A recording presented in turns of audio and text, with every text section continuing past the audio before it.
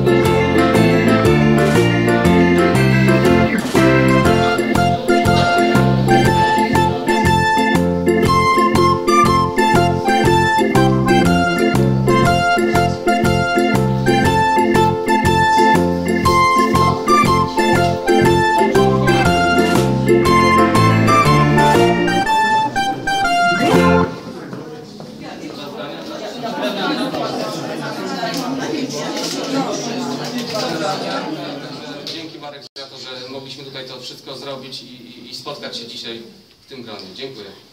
Szanowni Państwo, mam przyjemność powitać Państwa na akcji poświęconej e, leczeniu, e, zebraniu środków na leczenie naszej małej ziomalki, przeborszczanki Michaliny. Czy ktoś z rodziny dotarli? To dzięki nim tę akcję możemy robić. Włodek Gązła, znany społecznik, artysta plastyk, Sabinka Pelc z domu Zawsze Wołowiec, już miałem powiedzieć Wołoszyn, popatrz. Już miałem powiedzieć. Razem z Weroniką, która też tutaj podarowała swoją pracę. Moja pani profesor, przesympatyczna Marysia Piśkoś.